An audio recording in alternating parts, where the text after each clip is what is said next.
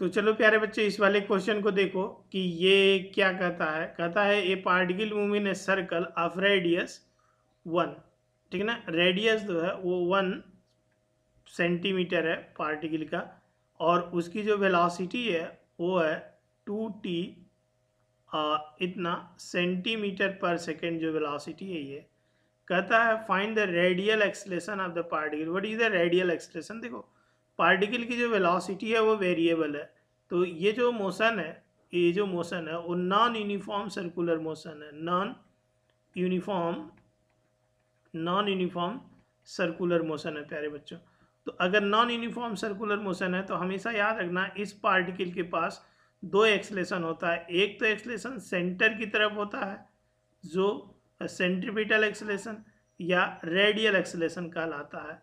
और अगर पार्टिकल ऐसे चल रहा है, ऐसे चल रहा सर्कल में तो एक एक्सलेशन तो यहाँ से टेंजेंशियल एक्सलेशन होता है, ठीक है ना? जो ये वाली जो टेंजेंशियल एक्सलेशन है, ये वाली, ये दो टाइप की एक्सलेशन होती है नॉन यूनिफॉर्म सर्कुलर मोशन है। तो इनका जो रिजल्टेंट है, वो नेट एक्सलेशन कुछ इस पॉइंट पे इधर जाएगा, जो कि this is the net acceleration of the particle और जो कि इससे कुछ अल्फ़ा डिग्री पे जाएगा, मान लेते हैं। तो ये वेक्टर लॉ से अगर देखोगे तो ये यहाँ पे ये वाला जो वेक्टर है, ये जितना, उतना ये होगा। तो ऑब्वियसली ये रेडियल ही होगा। तो यहाँ से और ये टेंजेंशियल तो यहाँ से अल्फ़ा भी निकाल सकते हो। तो टेन अल्फ़ा की वैल्यू जो आ जाएगी, वो रेडियल अपन टेंजेंशियल की वैल्यू आ जाएगी। तो ये तो पूछा नहीं है बेसिकली रेडियल और वो बट आपको कभी भी निकालने की ज़रूरत पड़ सकती है किसी भी क्वेश्चन में, इसलिए मैंने इसको डिस्कस कर दिया। तो चलिए सबसे पहले स्टार्ट करते हैं radial acceleration at t is equal to one first part इसको सॉल्व करते हैं। रेडियल एक्सलेशन क्या होता है? रेडियल रेडियल एक्सलेशन या centripetal acceleration centripetal radial acceleration या सेंट्रीपिटल एक्सलेशन तो सेंट्रीपिटल एक्सलेशन जो होता है, वो होता है बी स्क्वायर ओवर आर या आर ओमेगा स्क्वायर ये वाली चीज़। तो सबसे पहले जो वेलोसिटी है, वो टू टी है। तो जब टाइम वन सेकेंड होगा तो जो वेलोसिटी होगी, वो टू मीटर पर सेकेंड होगी। और रेडियस कितना है? वन है।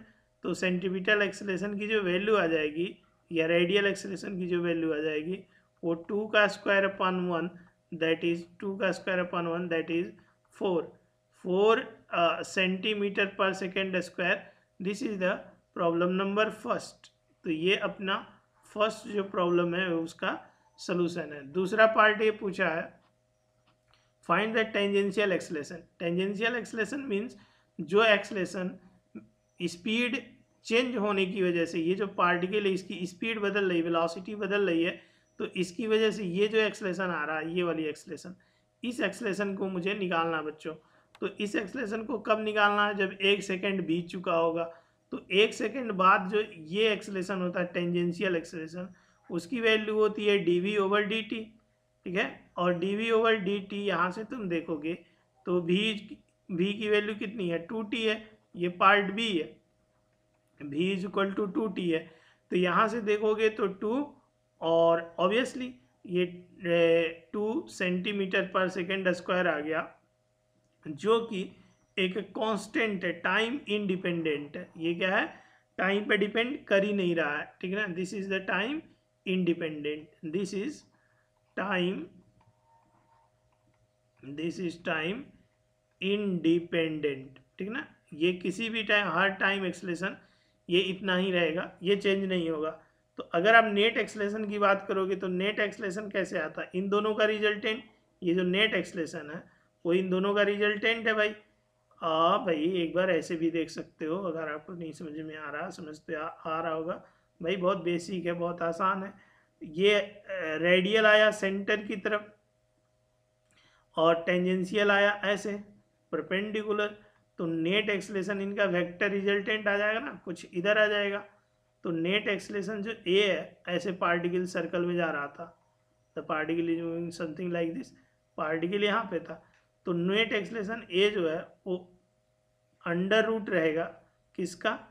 ए टी का स्क्वायर प्लस ए सी का स्क्वायर तो ए टी का ए टी का स्क्वायर जो है दैट इज़ फोर का स्क्वायर और प्लस टू का स्क्वायर अंडर रूट ठीक है ना? तो फाइनली जब इसको देखोगे तो यह जाएगा twenty metre per second square that is the net acceleration centimetre में था सब.